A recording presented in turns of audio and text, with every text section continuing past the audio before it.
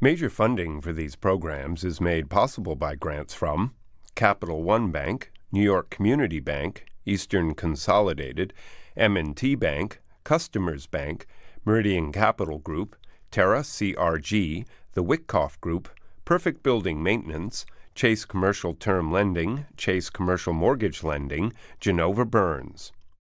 Additional support is made possible by AKA Hotels Korman Communities, AmTrust Title, Ariel Property Advisors, AVR Realty Company, Bank of America Merrill Lynch, Bank Leumi USA, Briarwood Organization, CBRE, Citizens Bank, Connect One Bank, Colliers International NYC, Collins Building Services, CPEX Real Estate Services, Dime Savings Bank of Williamsburg, Douglaston Development, Levine Builders, Fisher Brothers, Flushing Bank, Friedman LLP, Hendler Real Estate Organization, Hersha Hospitality, HAP Investment Developers, Hodges Ward Elliott Inc., Investors Bank, iFunding, James D. Kuhn Real Estate Center at Syracuse University, Kilroy Architectural Windows, Madison Realty Capital, Matone Group, Mercantile Commerce Bank, New Banks, Newmark Grubb Knight Frank, Optimum Window Manufacturing Corp., People's United Bank, Paulsonelli, Rosewood Realty Services, SJP Properties, Sterling National Bank, Stonehenge Partners, TD Bank, The Continuum Company, the Knakal Group at Cushman and Wakefield, the Meringoff Family Foundation, the Moynihan Group, and these friends.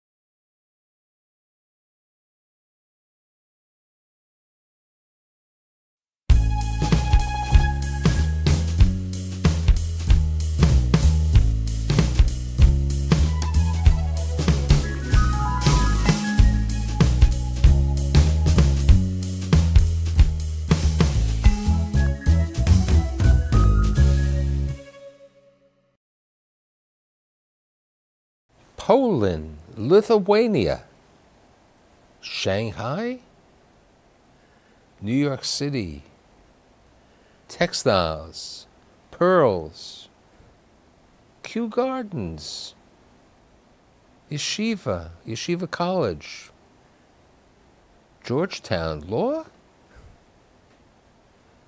Weil Gotshal, Republican Jewish Coalition, American Friends of the Likud. Who's this individual? Who's the chairman of the real estate practice at Weil Gotshal? It's my friend Phil Rosen, my guest today. Thank you for being here. Thank you, Michael. Thank you for having me. It's really a very interesting story about your father and your mother. Tell me the, the, the father's story because it's, So- it's unique. Both my father and my mother, the fact that they survived and the fact that they were able to create what they created is just a miracle. So let's start on dad and Start then we'll with go to mom. So dad grew up in a family in Warsaw, Poland. He had five siblings, and um, his family was both Hasidic and Zionist, which is almost a contradiction in terms today, but back then it was totally understandable. He spent half his day every day in the Cheder, which was the Jewish school, and then the other half of the day was in what's called the gymnasium, which was the secular school, where he um, also was part of the Zionist club uh, called Beitar. That was my father's childhood. When he was around 22 years old, um, the Nazis had started bombing Warsaw, Poland. And my grandfather, who was a real visionary, said to my father and two of his younger brothers, all three of which, all three of whom were not married yet, told them that they have to leave and they have to run as fast and as far as possible because the Nazis are on their way. Um, he decided that he couldn't make the trip because at 46 years old, he felt he was too old to make the trip. Also, he had two other kids that were married with children, and he felt they couldn't make it. And then the youngest was 12 years old, and he felt that he wasn't able to make it either. Unfortunately, that decision ended up being tragic because all of them were killed in the Holocaust. My father and two of his brothers escaped. They started running through the forests. Um, one of them decided that the only place he could end up was Palestine. He wasn't going to take a second choice of anywhere else in the world, so he ran by himself and eventually made it to Palestine, but with stints in um, labor camps in the Siberia and then in Cyprus. My father and the other brother found out as they were running through the forest, they heard a crazy story about a Japanese consul general in Kovno, Lithuania, who was issuing visas for Jewish um, survivors, I guess, at the time, to go to Kobe, Japan. And my father said to his brother, We have to at least give it a shot. Let's make our way to Kovno and let's find out if it's true. They got there, they found out it was true. They waited online like everybody else. And they and anywhere between three and 6,000 others got visas to go to Japan and eventually were placed from Japan into the Japanese colony in Shanghai. And what's, what year did they arrive? So they arrived, we think, around 1940, and they stayed until now, 46. you told me that prior to that, your dad and your uncle were entrepreneurs. The watch story. Tell that story. So, um, you know, as they're running through the forest, they really had no money with them. Um, and they had to eat. They were starving. Um, and um, they ended up in a train station, um, which was controlled by the Russians. And Russian soldiers were all around one end of the train station. And at the other end, my father saw a man selling watches out of his coat. And my father said to my uncle, let's go over to the watch salesman. They walked over. Um, the watch salesman showed them his wares, and my father said, Give me about 10 of the watches, and uh, I just want to take a look at them in better light. Um, the watchman said, um, Well, how do I know you're going to bring it back? And he said, I'm leaving my brother with you. I think that's enough security. He walked over to the other side to the Russian soldiers, and he sold them each of the watches for obviously a, um, a margin, and that margin was food for them for weeks. And that later on is when your when your father is in Shanghai, he goes in to the textile business, and the, Right. the company was called Poltex. Poltex. So Pol- my father, his brother, and two other brothers called the Millrods um, started a uh, textile company in Shanghai. They bought he bought wares from the um, Chinese and uh, he sold them in the Jewish community. And at this time, the, the yeshiva is even there, the Mir Yeshiva. I mean, these people were surviving and didn't have a great life, but they were surviving in, in Shanghai. Shanghai. It was Now, surviving. let's talk about mom, and then we'll get back to dad. So, mom's family, My mother grew up in um, Frankfurt am Main in Germany. Um, she was the youngest of six kids. Um, and uh, when the war first started, actually, even before the war started, when Hitler took power, um, my mother's oldest brother, who was 20 years older than she was, had left England for a job, had left Germany for a job in England um, as the distributor of Philips lights. They didn't have Philips lights, they only had GE in England at the time. My uncle became the distributor. He did very well. He came back to Germany when Hitler took power, and he said to my grandfather, Everybody's got to leave today. He said, Not tomorrow, not next week, not next month, today, because this man's a maniac and he's going to do what he said he's going to do, which is kill the entire Jewish race. Um, so my grandfather, obviously questioning him, eventually said, If you say it, that's fine. But what happens to all of our wares? What happens to our houses, the um, merchandise we have, money in the bank? My uncle said, Leave everything behind because it'll be impossible to get it out and it'll take months, if not years. And we don't have, we don't have that time. He said, Leave it all behind. I will provide for everybody in the family exactly what you have here. I will provide for you in England. And my grandfather said yes, and my uncles all had families of their own, also said yes, and everybody left. So they will survive. The entire family survived. So let's go from Shanghai to how your father comes to America. So my father came on one of the um, uh, one of the outbound planes um, and ships, and he took a ship and um, and he arrived on the shores of uh, New York.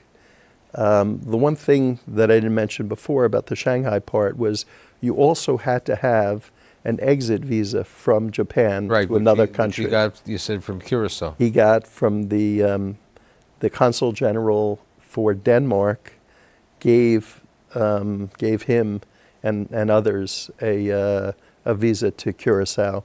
So when he boarded the boat to come to the United States, uh, he used that Curacao uh, visa as one of the means to get out. He also had to have a job, and um, a yeshiva in Baltimore sent a letter saying that he was uh, going to be a teacher. So he ended up uh, getting to New York and uh, didn't finish that Curacao part until 30 years later when my mother said, We'll go on vacation to Aruba. And my father said, We have to stop in Curacao because I still have the visa.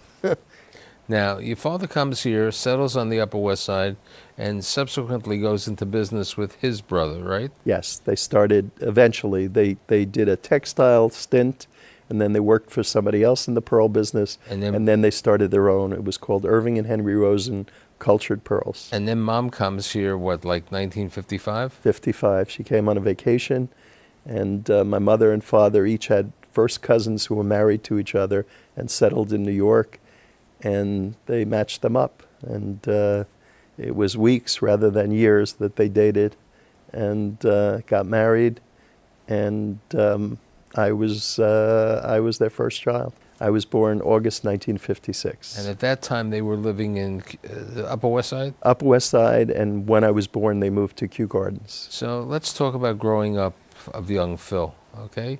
You grew up in Kew Gardens originally. You went to yeshiva. And then, um, then when did your parents move out to Great Neck? when I was six years old. Um, in fact, our last day in Kew Gardens happened to be the day that President Kennedy was shot. Because I remember we had no furniture left in the apartment, it was all in the moving trucks, and my mother was sitting watching TV, crying hysterically. And I couldn't understand why. Of course, I figured it out pretty quickly. So now you're in Great Neck and you, you go to school over there at the North Shore Hebrew Academy, Hebrew Academy, which was small because at very that, small. at that time Great Neck had a lot of secular Jews, but not really a number of religious There, Jews. exactly, And, you, and your parents wanted you to become a traditional religious Jew exactly. over there. And wh- when you're growing up, isn't there the story when your father was a Zionist, as you said, and Menachem Begin? Tell the story about Menachem. So Begin. Menachem Begin was one of his Zionist leaders from all the way back in Poland. Remember I mentioned before that they were secular in their afternoons, in their mornings they were uh, Hasidic. Um, one of his leaders was Menachem Begin, and they stayed in touch. And uh, when Menachem Begin was in the opposition, um, he would meet with my father every year, and my father would help him with uh, his primary effort or whatever it was that uh, that he was allowed to do. He gave him assistance. And um, when I was 13 years old, um, before that, I should say that uh, my father had us reading *The Revolt*, which is Menachem Begin's book about his life. Um, I think when I was eight years old, while my other friends were reading, you know, *The Cat in the Hat*, I was reading Menachem Begin's *The Revolt*. A little boring, but uh, you know, years later, very interesting. So when I was 13 years old, my father woke me up on a Sunday and he said, "We're going to the city, and you're going to get to meet Menachem Begin." We walked into his room at uh, one of the hotels. I think it was the Waldorf, and um, I was in awe because this was a person that had been become my hero throughout my childhood, and um, I met him, and uh, my father and he spoke in, in a little bit in Yiddish, a little bit in Hebrew, a little bit in English. I understood at least one of them, and um, at some point, my father pulled out his checkbook and uh, wrote a check. And I asked uh, my father if I could give to Mr. Begin. And so, Prime Minister, future Prime Minister Begin turned to my father and said, "Where does a kid who's 13 years old have money?" And I said to my father, "I said I'd take a portion of my bar mitzvah money and give it to the Prime Minister, future Prime Minister." Now, isn't there a story later on? Yes, years later, um, I was on vacation with a friend in uh, in Israel, and my father said to me, and Menachem Begin was the prime minister at that time, and my father said to me, "Go take a walk on Shabbos afternoon, and go visit the prime minister." I said, "Dad, come on, he's the prime minister. He has 32 security guards around him." I said, "I'm not going to his house by myself on a Saturday afternoon without an appointment." My father said, I asked you to go, please go. And he hung up the phone. I always listened to my father and my mother my whole life, never questioning. I walked over on Saturday afternoon, knocked on the door. Security guard opened the door and he said uh, in Hebrew, Who are you? And I said, Please tell the prime minister that, and I used my father's name that he used in Poland, Ichik Rosen. Ichik Rosen's son is here and he comes to the door, the prime minister. He reaches out and he said, You're the boy who gave me the money. I said, Yes. He pulled me in. He took me into his uh, dining room. And in the dining room, he had a who's who of Israeli life. You know, a famous author, a famous artist, a famous general, a rabbi or two, just sitting around the table talking. And um, he said to everybody, he said, I just want to tell you that this is my friend's son from the United States. He said, um, I'd like you to speak in English, but if you can't, speak in really simple Hebrew so he can understand and be part of the conversation. It was one of the highlights of my life. So, getting back to your life, after the first nine years, because uh, North Shore didn't go there, you went to MTS, which was part of Yeshiva College. MTA, yes. Um, Yeshiva College, Yeshiva University High School. Right, so Yeshiva University High School. And then you graduate high school, and at this time, you wanted to be closer to your parents, so you decided to go to Yeshiva College. Right. I wanted to stay in the New York area so I could come home on weekends without it being a Well, hassle. When was the time that you decided you wanted to be an attorney? Um, so I was considering going into my father's business, which was a very successful cultured pearl and then diamond business. And I spent a summer working for my father sometime in college. I think it was my junior year or a portion of the summer. And um, my father realized that I was colorblind, like to the point where going into the business would have meant losing an enormous amount of money. And so he said to me, I think you should find something else to do.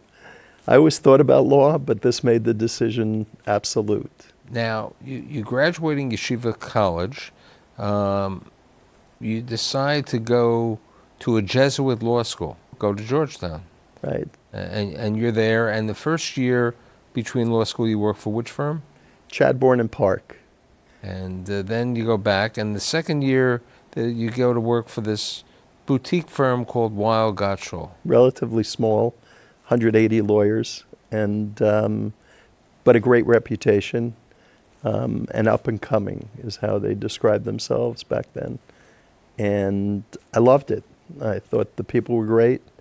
Um, I loved the practice that I was in, loved the environment. Um, the clientele was terrific.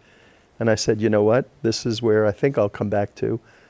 But I um, applied for clerkships and I got one of the premier clerkships for the chief judge in the Southern District of New York um, for the year following my graduation from law school, and I did that. It was a great And experience. so then you come back after that, after the year, and you go to work for Weil Gotshal. I did, 1982. So 1982, and you know, Weil Gotshal, you, you were you were a good kid because you were made partner within five years, right? Six years. Six years. I mean, which is early partner track, and you work with the legendary Harvey Miller I worked a lot with Harvey Miller. He was and Ira Milstein. I, he was my mentor, Ira Milstein.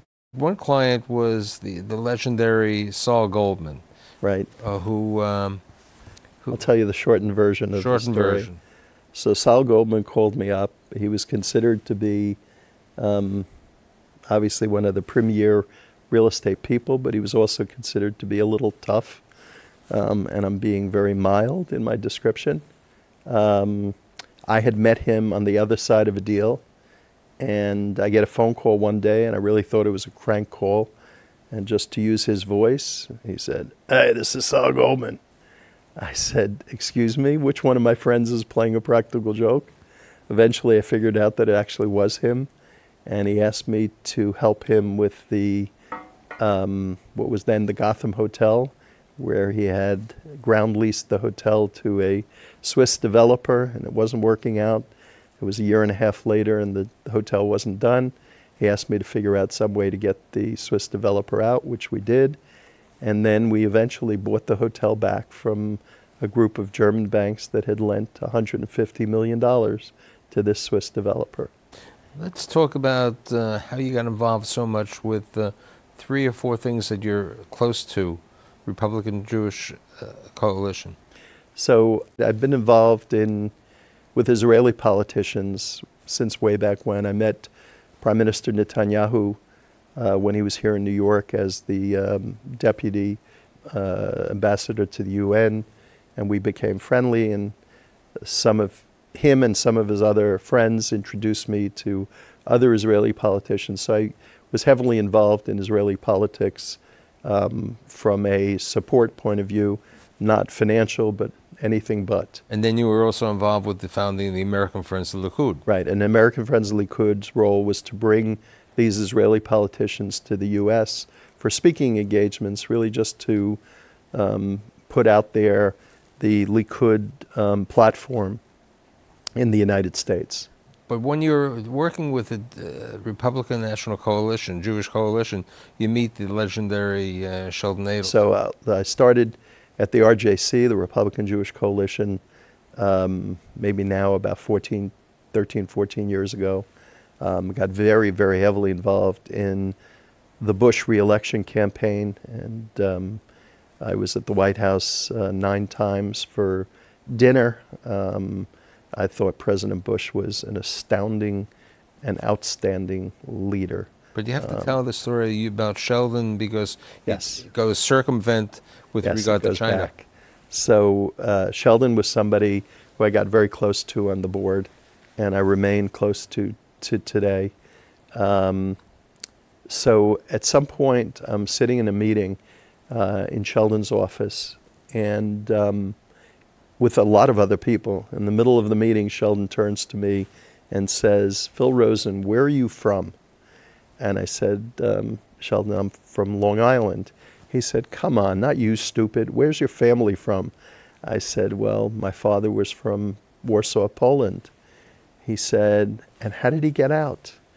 And I said, There was this man, this amazing Japanese man. As soon as I finished that sentence, he pulls out his iPhone, he dials a number, and he says, Buki, one second. And he gives me the phone and he says, I think you should talk to the man I think you should talk to the son of the man who saved your father. This is Buki Sugihara. He's a friend of mine. And from that point on, Buki And we have a picture of Buki and you. we do, we do, because recently they dedicated a street in Israel, in, her, in Netanya, um, to Mr. Sugihara, Chiune Sugihara. And his son came and he called me up and he said, Phil, what are you doing next Tuesday? I said, Well, I was going to be here in New York. He said, No, no, no. He said, I'm going with my wife to Israel. They're dedicating a street to my father. You have to be there and you have to speak. And I went and I spoke to about 3,000 people in an audience, many of whom were survivors and the children of survivors and the grandchildren of survivors from China. Now, another thing that you've been active besides through law and everything else is you've been involved with Yeshiva University. Yes. Uh, you've been on the board of Yeshiva University and Yeshiva College. Right. When the when the Yeshiva College board was first founded, I was one of the founding members of that board. Uh, recently, I've stepped up to become uh, on the board of trustees of Yeshiva University, and I'm totally enormously dedicated to Yeshiva University. I give a lot of my time and a lot of my effort, as I think it's the premier institution for Jewish uh, studies, but I also think that it is uh, the paradigm for modern Orthodoxy in the United States and maybe around the world. Now, uh, with with regard to that, let's talk about your children a little bit and their involvement with Yeshiva University and everything, Okay. and your wife's involvement. So my wife went to Stern College, which is the girls' college from Yeshiva University, and um, one of my sons is a junior, uh, soon to be senior at Yeshiva University, and loving it, loving every minute of it. Tell me the names of your wife and the kids Okay, because so we my- have pictures of all of them. My wife is Malki. We've been married 27 years, uh, 27 wonderful years. My oldest is Rachel, um, and she just finished the bar exam, uh, starting work in October at a nice law firm. She's married to my dear son in law, who I love, Shai Pizer. Um, beautiful wedding. And then my next daughter is Miriam, who I adore.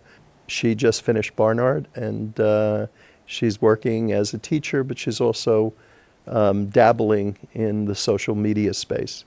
Um, number three is Isaac, who is in Yeshiva University, and Isaac worked this summer at a um, technology fund.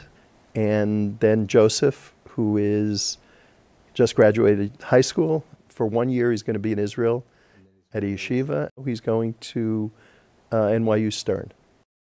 You're the chairman of the real estate practice uh, for Yes. Weil Gotshal. and have lo- been since uh, I think 1997. So it's a long time. And how many people uh, Um, are under the real estate? Nationally, we It's probably real estate and gaming, right? it's real estate, hospitality, and gaming, and infrastructure, all combined in one practice. Um, and we probably have somewhere in the neighborhood of 45 to 50 people internationally. Now, you also have a home in Israel. You, you I have a house in Israel that I go to whenever I, whenever I can. Um, it's uh, my dream come true, having a house in Jerusalem. we have a picture of you with the motorcycles. So one of the causes that I'm involved in in Israel is um, Hatzalah, which is the ambulance um, emergency service organization, private, and I've given them four um, four different ambucycles, which are emergency service providers without the stretcher. They are able to maneuver through the streets, which is magnificent. They get there in record time. So, for the, for the kid who, you know, grew up in Kew Gardens and um, Great Neck, fortunately, your father and his brother listened to Grandpa and went to Lithuania, China, Thank God. and over here. And thanks for being my guest today. Thank you so much, Michael. I really appreciate it. A lot of fun.